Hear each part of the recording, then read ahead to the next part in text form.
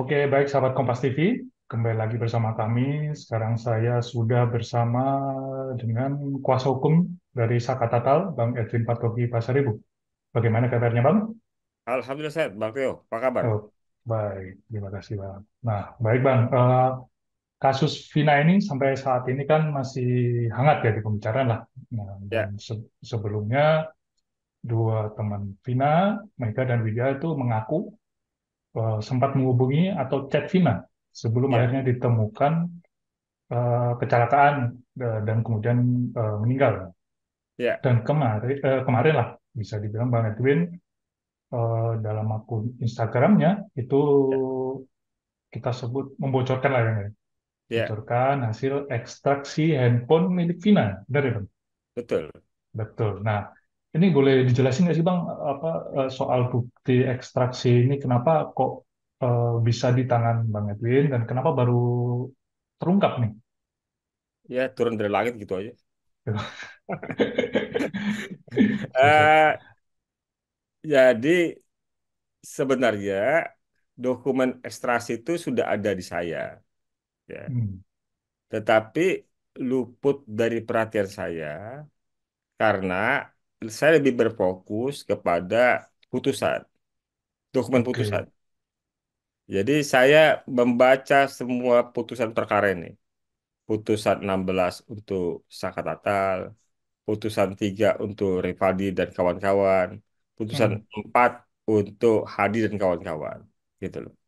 Saya baca semua putusan itu eh, dan di dalam perkara tiga perkara tersebut sama sekali tidak ada bukti baik keterangan ahli maupun bukti surat terkait dengan eh, percakapan handphone, gitu loh. iya. Jadi karena tidak ada bukti terkait itu, Saya jadi mengabaikan saja keterangan te- apa namanya data yang ada itu ya, data tentang ekstraksi itu. Ya, misalnya yang menjadi hal yang seragam dari tiga putusan itu, Bang Theo, Hmm, adalah bahwa eh, perencanaan itu ada pada Dani. Dani Oke. mengirim SMS kepada Sudirman, terus diteruskan kepada Saka Tatal. Isi SMS itu adalah untuk menyerang Eki. ya SMS itu tanggal 17 Agustus 2016 16. 10 hari sebelum peristiwa Hmm, gitu. Eh, tet- tetapi tidak ada itunya Bang Theo. Nggak ada bukti dilampirkan. Jadi Oke. bukti dilampirkan untuk memperkuat perencanaan itu oleh Dani ya itu nggak pernah ada dalam tiga berkas perkara tersebut gitu. Sehingga itulah kenapa saya nggak sebelumnya tidak tertarik dengan bukti ekstraksi itu gitu. Hmm, Sampai kemudian eh, ketika Mega dan Widi bersaksi ya? di sidang PK Tatal menyampaikan bahwa mereka masih sempat berkomunikasi eh, dengan handphone ya. Pada waktu itu masih BlackBerry, Iya. masih BlackBerry SMS ya. Itu Widi menjelaskan bahwa pada pukul 22 lewat dia masih berkomunikasi dengan Vina. Bahkan Vina mengajak Widi untuk keluar kan, itu jalan Hmm, keluar. Dan Widinya nggak mau karena takut nama dimarahin pacarnya. Oke. Nah, ditambah saya terstimulus oleh pernyataan Raja Indragiri. Hmm, Raja Indragiri bilang bahwa kunci perkara ini ada pada data handphone dari para korban dan terduga pelaku lah, ya kan. Nah, karena itu kemudian saya teringat bahwa saya punya barang itu, gitu. Saya punya barang itu, kemudian mulailah saya buka, saya baca. Hal yang paling buat wow buat saya pertama kali adalah ketika nanti kalau Bang Theo tampilkan ya, hmm, itu di nomor 58 dari hmm. kolom tersebut. Di kolom di nomor 58 dari kolom tersebut ada pesan ya, pesan teks yang di situ jelas tertulis Widi pesan teksnya gitu. Is Isun sudah di rumah Widi. Nah, hmm, artinya Widi yang mengaku di persidangan sebagai sahabatnya Vina ternyata benar Terny- karena di pesan teksnya itu ada nama Widi gitu. Ya, jadi keterangan Widi ini tidak berdiri sendiri. Ya, oke, saya telusuri di bagian atas dari keterangan tersebut di tanggal yang sama, tanggal 27 Agustus 2016. Di nanti kalau bisa ditampilkan oleh Mas Teo itu di hmm, nomor 55 ya. 55. Di nomor 55 itu ada kalimat yang sama persis yang disampaikan oleh Widi dan Mega ketika bersaksi di sidang PK Sakatatal. Hmm, Eh, bukan eh, intinya begini bahwa di pukul 15 lewat ya, 14 lewat 10 detik waktu UTC ya hmm, itu Widi eh, Vina mengirimkan pesan teks kepada eh, Widi ngajak Widi keluar. hmm, Nah, itu sesuai dengan apa yang disampaikan Mega dan Widi ketika di persidangan, gitu. Nah, itulah kemudian kata saya ini valid keterangan Widi dan Mega ini valid, otentik dan sangat kuat sekali ya, karena bukan hanya keterangan berdasarkan ingatan, tapi didukung oleh bukti saintifik, gitu. ya. Jadi bukti saintifik ini eh, ya, saintifik evidence ini mengalahkan kekuatannya itu mengalahkan bukti-bukti lainnya, ya, gitu loh. Ya, dia kalau sebagai bukti dia bukti yang seterang matahari, gitu loh. Ya, bukti seterang matahari. gitu. Nah, jadi Artinya ini kan berbeda ya dengan kronologi yang apa? Eh, BAP ya? beda jauh karena iya. gini Bang Theo. Kalau berdasarkan putusan dari tiga perkara tersebut, itu semuanya menjelaskan peristiwa kekerasan itu sudah dimulai sejak pukul 21.15. Nah, jadi kalau kita pakai pendekatan waktu yang tadi saya bilang, ya, eh, saya belum lupa menjelaskan. Waktunya tadi kan UTC-nya 15 4 15 eh, jam 15 lewat 14 menit Hmm, lewat 10 detik UTC. UTC itu adalah waktu global. Waktu global yang kalau dikonversi ke waktu Indonesia bagian barat itu ditambah 7 jam. Iya.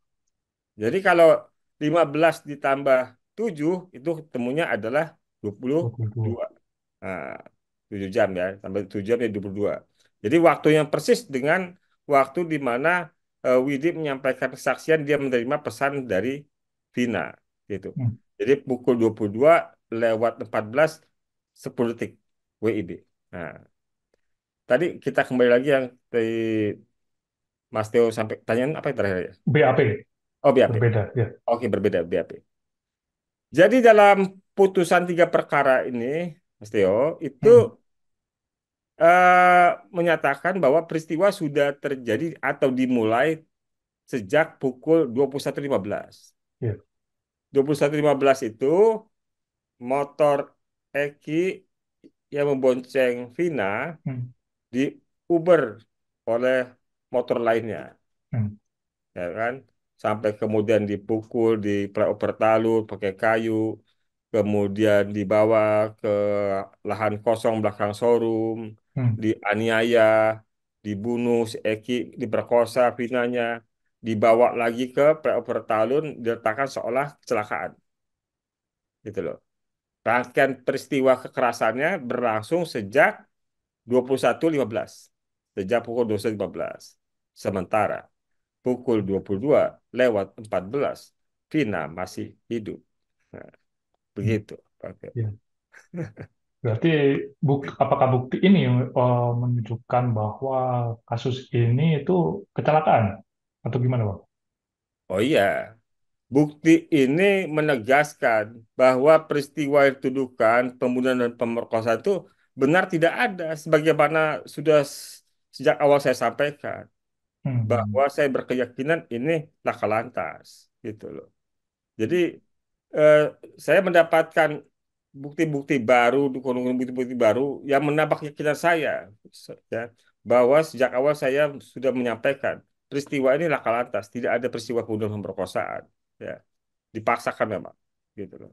Ya. Jadi dengan adanya bukti ini, Bang Teo, maka sebenarnya kita sudah game over, kita sudah case close, gitu loh.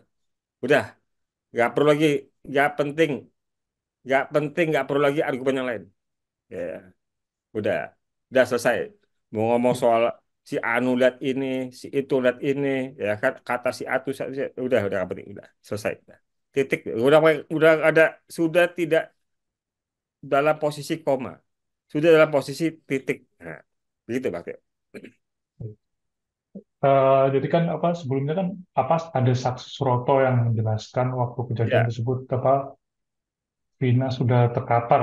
Jadi nggak mungkin ya telepon gitu. iya udah udah titik tuh jadi aku mau jelasin gini Bang Teo kalau Iya. saya bisa jelasin gini Bang Teo jadi Suroto Ya, pertama saya ingin sampaikan sejak awal juga sudah sampaikan. Suroto bukanlah orang yang pertama kali menemukan korban. Oke. Ya, ketika Suroto, Muhyiddin, Suja, Hmm. Taufik, ya, yang lain itu polisi yang saya sebutkan. Suroto yang bukan polisi. Gitu. Datang ke TKP, keadaan sudah ramai. Iya. Jadi Suroto bukan orang pertama yang menemukan korban. Ya. Kedua, keterangan Suroto tentang melihat kemaluan eh, tentang Rok Vina tersikap dan kemaluannya terlihat, ini menurut saya patut diragukan. Hmm. Kenapa patut diragukan? Karena Vina pada hari naas tersebut menggunakan pakaian ya itu semacam rok terusan ya eh, kalau ke bawahnya itu sampai dengan dengkul Iya. ya itu pakaian baju milik Widi. Oke. Heeh. Dan bukan hanya itu, Mas Teo yang milik Widi. Kalau kita lihat fotonya Vina di jalan itu di flyover itu, Hmm. dia kan juga pakai slop. Ya. Slopnya juga milik Widi. Oh. Satu lagi, Mas Teo, itu Vina itu pakai short pant. Hmm. Hmm. Short pantnya juga milik Widi. Nah, gitu. Oke. Dan kata Mega dan Widi, Widih. pada hari itu Vina dal- sedang haid ya. Iya. Ya, karena datang ke rumah Widi pada siangnya itu kan Hmm. minjem uang 50 ribu untuk beli pembalut dan eh, mie ya, gitu, Hmm. Hmm. instan, gitu loh. Nah, keterangan tentang short pain ini juga cocok dengan keterangan dokter di IGD Rumah Sakit Gunung Jati yang menangani Vina, gitu loh. Jadi keterangannya sama soal celana, tapi soal jenis celananya yang berbeda. Tapi substansi tentang celananya sama. Jadi gini keterangannya dari dokter IGD di Rumah Sakit Gunung Jati, Bang Teo, bahwa dokter itu menggunting celana panjang Vina. Hmm. Celana panjang Vina jeans warna biru, itu loh. Ya, jadi tadi saya sampaikan, Widi bilang Vina pakai short pants. Dokter terus menggunting celana Vina ya yang berwarna biru ketika di IGD. Hmm. Di keterangan Widi dan dokter di IGD itu ya ada kesesuaian, ya kan? Gitu loh. Yang unik keterangan Suroto, eh, bagaimana orang pakai celana dalam, pakai short pants, dalam keadaan dalam keadaan haid, kemudian dia bisa lihat ya. Mhm. Sementara eh, celana dalam Vina itu berwarna krem mendekati Mhm. putih. Celana dalamnya ada fotonya kita ketika di rumah sakit. Jadi celana dalamnya juga menjadi eh, foto foto bukan celana dalamnya, tapi foto Vina ketika di rumah sakit itu menunjukkan bahwa di bagian luar sisi luar yang kita lihat itu tidak ada noda darah Mhm. gitu loh. Eh, padahal kata Suroto celana dalamnya turun. Iya, iya. Sementara dia lagi haid. Tapi ketika kita lihat di foto itu bersih gitu loh. Nggak ada noda, nggak ada nodanya gitu loh. Jadi beberapa keterangan-keterangan ini ini membuat keterangan Suroto itu nggak punya pijakan yang kuat. Begitu, Pak Teo. iya. Terus kan eh, tadi bicara soal bukti lah Pak, bukti Ya, apa eh, ekstraksi eh, chat dari HP Cina ya. Nah ya, itu selain itu, apakah ada bukti lain nggak nih Pak yang bisa menguatkan ini kasus kecelakaan selain eh, foto dari eh foto lagi terus chat lagi gitu-gitu Pak? ya ada satu yang sejak awal juga saya ragukan keterangannya, yaitu keterangan penemuan sperma Oke. oleh dokter forensik. Saya meragukan autentik autentisitas dari keterangan tersebut, gitu loh. Ya, saya sudah melihat kembali eh, foto-foto ekshumasinya, Mm-mm. ya. Ketika ekshumasi itu memang ekshumasi ini adalah pembongkaran makam ya untuk Ya. dilakukannya eh, otopsi kepada jenazah. Ketika ekshumasi tersebut, memang ada kegiatan dokter yang melakukan pemeriksaan terhadap Mm. ya, tetapi tidak ada keterangan yang menjelaskan penemuan sperma tersebut. Setio. Nah, ini perlakuan yang berbeda, di mana dalam foto ekshumasi tersebut juga dilampirkan pengambilan sampel dari perut dari kulit kulit luar ya kulit perut sisi kanannya Vina Mm. ya kulit perut sisi kanan Vina dan juga diambil sampel dari hati. Ya. Nah, sampel itu diperlakukannya harusnya itu dipoto, Bang Tio. Terhadap sampel itu harus dilakukan pemotretan di tempat ya. Mm. Kemudian juga bukannya pemotretan, Tio, tetapi terhadap sampel tersebut dimasukkan ke dalam wadah yang aman. Ya, semacam toples lah, ya. Dan di luar bagian toples itu ditulis temuannya apa. Gitu. Nah, ketika ekshumasi itu dilakukan, ya, tentang sperma itu nggak ada keterangan Pak Tio.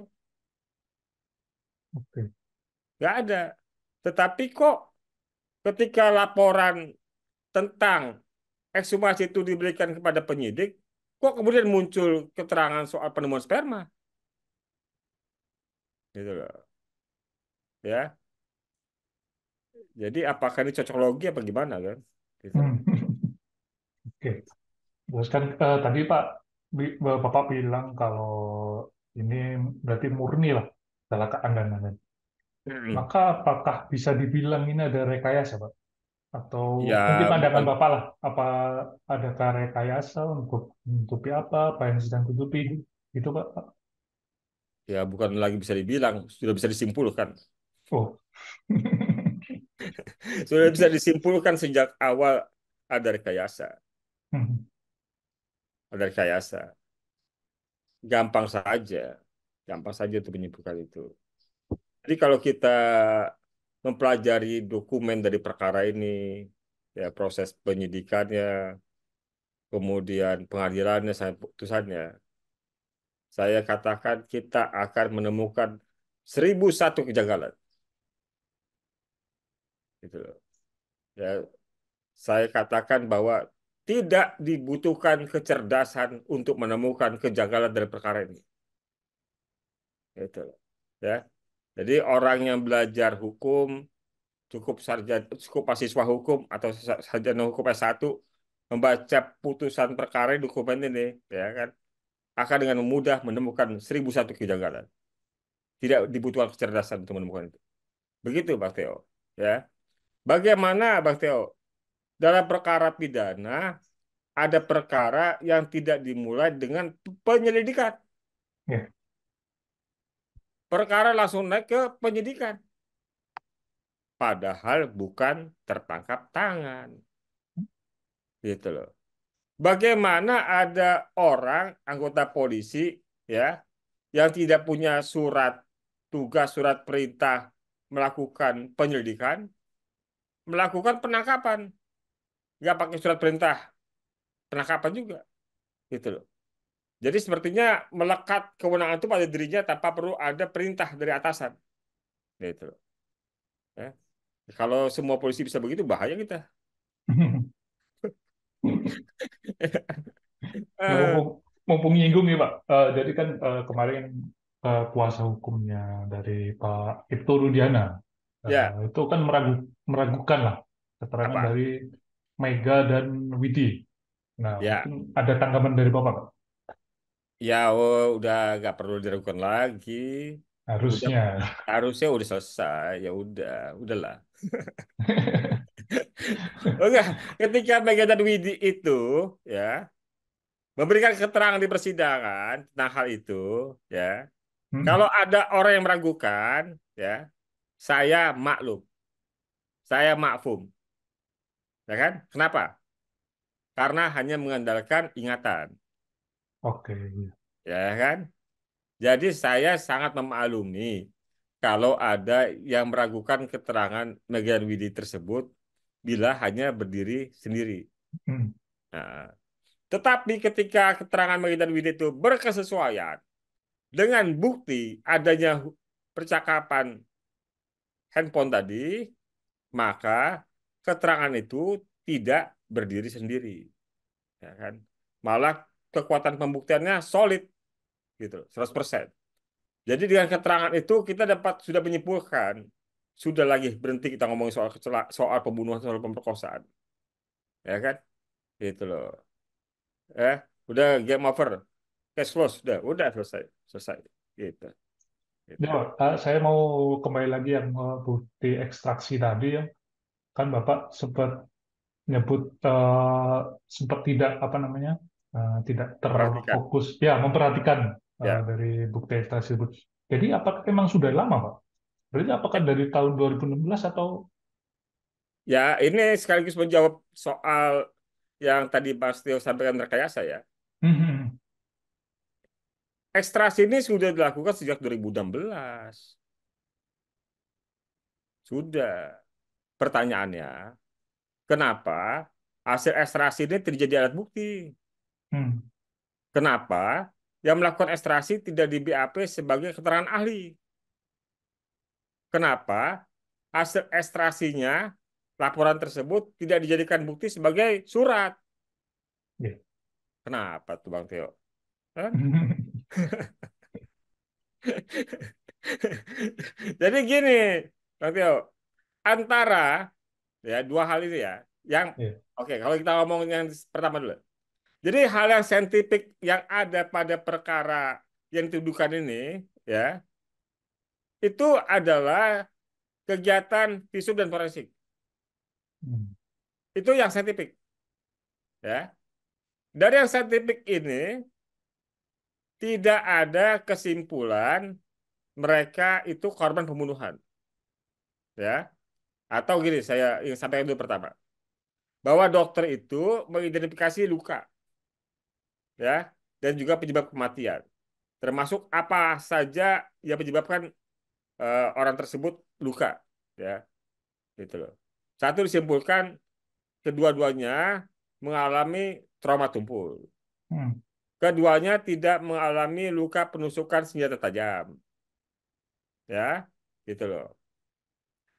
Kemudian luka yang paling dominan apa luka yang menyebabkan kematian itu luka di bagian kepala. Bagian kepala. Ini ada yang menarik keterangannya Dokter Budi Sendar ketika ketika kami hadirkan sebagai dokter sebagai ahli di persidangan natal, ya Hmm. kan. Jadi ternyata Mas Budi itu luka yang ah, Mas Teo, ya luka yang paling paling utama dari intinya itu dari misalnya Eki Hmm. itu ada di jidatnya. Iya.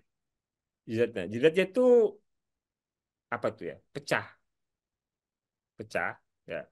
Tapi ini kayak gempa, Mas Teo. Ya, kayak gempa. Intinya di sini, Mas Teo. Hmm, hmm, hmm. Ya. Kalau kita lihat foto Mas Teo, ini baik-baiknya Mas Teo. Rata. Kalau lihat Oke. besaran foto, ya Iya. kan? Itu cuma bisa kelihatan ketika dilakukan ekshumasi tadi, otopsi Iya. itu. Tetapi ternyata Mas Teo, itu kayak gempa, itu membuat patahan. Patahan begini Mas Teo. Nah, Oke. patahan begini ke belakang koraknya, Iya. gitu loh. Jadi, Retak ya, Oh, oke. jadi pusatnya di sini. Pusatnya di sini, ya kan? Pusat pusat in- eh, lukanya di sini, ya. Tetapi patahan itu kemudian menjalar ke muka dan juga tulang tengkorak. Begitu, Mas Teo. Jadi saya, saya sampaikan bahwa yang saintifik itu adalah kegiatan visum dan forensik ya. Hmm. Ada keterangan menarik, ini fakta persidangan ya, yang disampaikan oleh dokter forensiknya Iya. di perkara 3 dan 4. Dokter forensik bilang begini, Mas Teo, trauma tumpul biasa dialami oleh korban laka lantas di aspal yang mulus. Nah, nanti kalau ada pihak sana yang bilang dokter kan bukan menentukan kecelakaan atau pembunuhan, betul. Iya. Saya ingin sampaikan ini pendapat dokternya. Pendapat dokter di persidangan, ya. Dokter ahli berpendapat tentu berdasarkan pengalaman, gitu loh. Jadi begitu, Mas Teo. Jadi secara visum forensik juga sebenarnya tidak ada menjelaskan tentang peristiwa pembunuhan pemerkosaan. Hmm. Bahkan soal penemuan sperma, dokter tidak menyatakan apakah itu karena hubungan konsensual atau ruda paksa. Nggak ada juga. Iya. Hanya temuan sperma saja. Gitu loh. Nah, kalau ditambah, Mas Teo, at- tadi pertanyaan Mas Teo, kalau seandainya ditambah itu dengan penemuan ekstrasi ini, ya ketika persidangan dulu, ya selesai Mas Teo, nggak sesuai rencana. Bebas mereka. Hmm. Bebas Mas Teo. Gitu loh. Bukannya be- bukannya bebas Mas Teo, bukannya bebas, ya kan? Nggak layak P21 Mas Teo. Oke. Bukannya Iya, bebas. iya, Nggak iya. layak P21, ya kan? Sayangnya ternyata malah disidang dan seumur hidup ya, Pak ya. Seumur hidup, gitu loh. Iya, iya. Ya, Oke. iya. Jadi udah terlanjur lah, misalnya Sakatata udah terlanjur bonyok, Ah, udah terlalu terlanjur bonyok udah ditahan, ya sudah dicepet-cepetin lah, karena juga sistem peradilan anak kan harus cepet iya. kan, gitu loh. Padahal dia bukan pelaku utama, dia cuma ikut Hmm. serta. Tuduhannya cuma sekali mukul di pra ketika pertama. Tuduhannya cuma sekali mukul di pra pertama, putusannya 340. Pembunuhan berencana. Bagaimana tuh? Oke. Iya, iya. Ajaib kan? Ajaib. Ajaib. Cuma mukul sekali, ya kan? Eh, badannya kurus, ya kan? Gitu loh. Hmm. Cuma mukul sekali di pre-oper pertama sebelum dibawa ke harus Iya. sama forum ya. Mukul sekali dirumuskan sebagai perbuatan terbukti 340 pembunuhan berencana. gitu loh. Mukul sekali itu kan 351 huruf Hmm. A, apakah satu? Penganiayaan ringan. Terbukti 340. Gimana gak ajaib? Gimana gak ajaib? Ya kan? Itu. Kemudian, Mas Teo, yang ajaib lagi.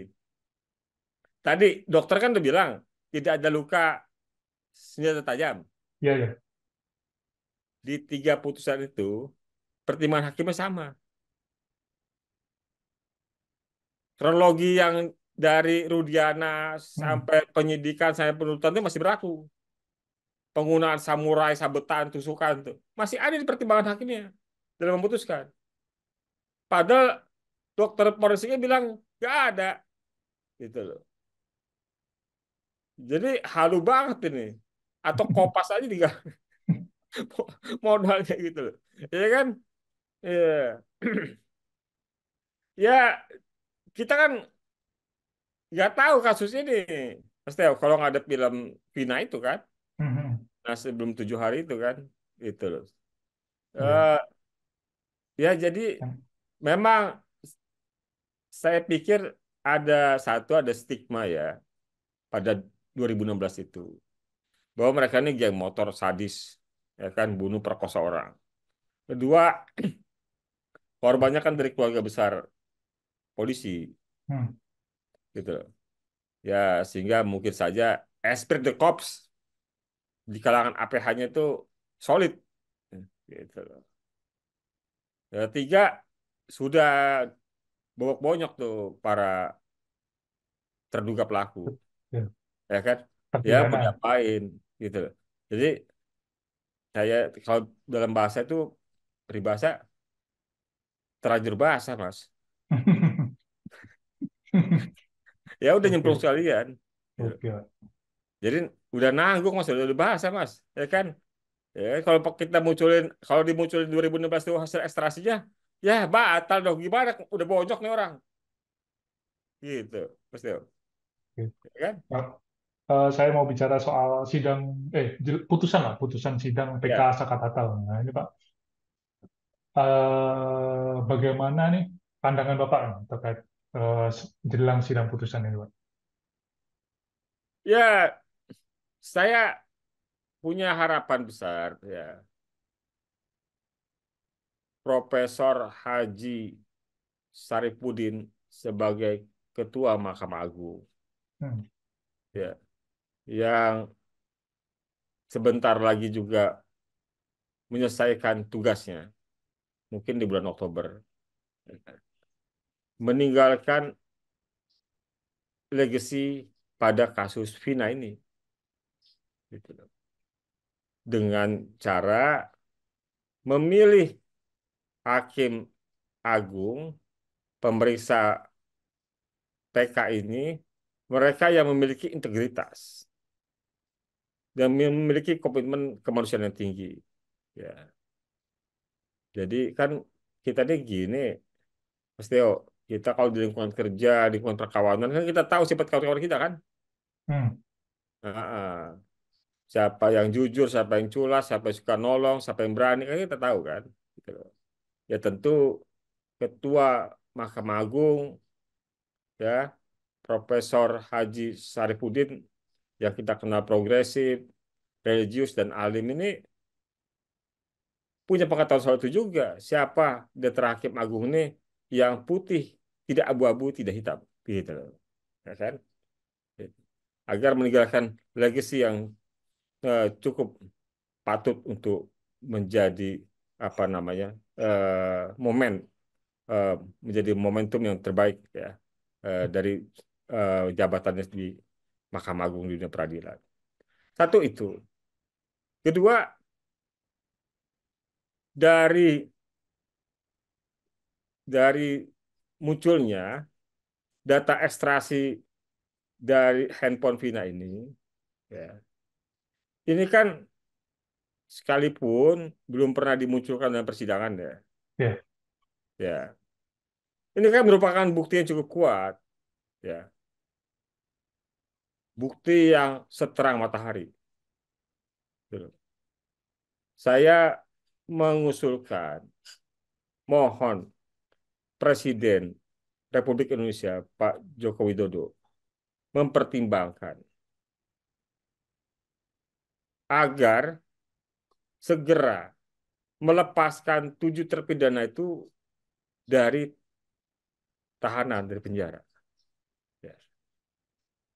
Jadi selama lebih dari 8 tahun atau selama 8 tahun ini negara sebenarnya sudah berhutang atas hilangnya setiap detik kebebasan dari delapan terpidana tersebut. Hmm. Jangan hanya karena mereka pengangguran, karena mereka kuli bangunan, karena mereka orang kecil, nggak punya akses, bukan anak pejabat, bukan anak pengusaha, ya. Kemudian kita anggap mereka memang layak jadi expendable, layak dibuang, ya kan? Jadi nggak boleh tidak ada rakyat Indonesia yang boleh dibuang dalam situasi ekonomi status apa pun yang mereka melekat pada mereka. Gitu. Jadi saya berharap Presiden Joko Widodo mengambil langkah-langkah luar biasa agar tujuh terpidana lainnya segera dibebaskan lebih dahulu sambil uh, proses PK-nya tetap berjalan. Demikian Mas Teo, terima kasih. Oke. Jadi uh, mungkin jika nantinya nih bakalan dikabulkan soal apa uh, putusan sidang PK Tatal, nah mungkin apa ada dampaknya nggak sih Pak kalau menurut Bapak? Ya tentu, tentu. Hmm. Jadi putusan sidang Pak Sakatato dikabulkan yaitu karpet merah buat tujuh terpidana lainnya Mas Teo. Hmm. Kan tinggal tinggal satu aja novumnya. Novum buat tujuh terpidana lainnya kalau putusan Sakatatal dikabulkan, novumnya adalah putusan itu. Artinya Sakatatal akan jadi apa ya Pak? Uh, saksi, eh ya saksi ya untuk mereka. Ya iya mau jadi saksi mau apa terserah. Tapi menurut okay. saya novumnya itu buat tujuh lainnya itu ketika putusan sakat natal apa permohonan sakat natal itu dikabulkan ya kan cukup satu aja novumnya hmm. novumnya adalah putusan eh, PK sakat natal dikabulkan udah gitu begitu betul uh, ya misalkan uh, jika tujuh terpidana tadi ini sudah ajukan PK ya ya terus uh, dan mungkin sidangnya udah digelar. Nah, oh ya. Terus bukti-bukti yang Bapak bocorkan kayak ekstraksi cat ini apakah bisa Pak ditunjukkan? Bisa. Kira-kira ya. Bisa. Pertama kan buat tujuh lainnya belum mendaftarkan memori PK. Ya. Artinya apa yang kami sampaikan ini kan bisa menjadi novum. Hmm. Kedua, apa yang kami sampaikan bisa menjadi keterangan saksi di persidangan PK-nya. Begitu, Mas Teo. Nah. Ya. Eh, terakhir, Pak. Uh, harapan Pak, Bapak lah terkait kasus ini. Ya, saya berharap ya kemerdekaan dapat segera diraih oleh delapan orang ini. Hmm. Kemerdekaan bahwa mereka itu bersih dari peristiwa yang dituduhkan kemerdekaan dari dari hal-hal yang merampas ya kebebasan mereka selama 8 tahun lebih ini ya. Kita sebentar lagi merayakan kemerdekaan Indonesia. Harusnya ini juga jadi kemerdekaan buat 8 terpidana. Gitu. Ya. E, jadi saya berharap ada upaya yang luar biasa baik dari Ketua Mahkamah Agung untuk memastikan hakim yang memeriksa PK adalah hakim berintegritas dari Presiden Republik Indonesia Joko Widodo untuk mengambil langkah-langkah yang luar biasa membebaskan sementara waktu tujuh orang terpidana sampai dengan proses PK-nya masih berjalan. Demikian, Mas Teo. Ya, Oke, juga itu harapannya agar penegak hukum ya semakin profesional, ya semakin profesional, ya tidak mengandalkan pengakuan, ya tidak dipengaruhi oleh stigma, tidak membuat kelas-kelas sosial yang membuat orang kecil seperti layak untuk dihukum. Gitu ya. Jadi hukum memang harus berlaku sama buat semua orang. Demikian Mas, terima kasih. Oke, baik. Terima kasih atas waktunya, Pak Edwin, Pak Togi. Sama-sama Mas Tio kasih kesempatan Iya, untuk wawancaranya. iya. Ya. Oke, sahabat Kompas TV, itu tadi wawancara saya dengan Pak eh, Kuasa Hukum Saka Tatal, Pak Edwin Walugi. Sampai jumpa di lain waktu. Assalamualaikum.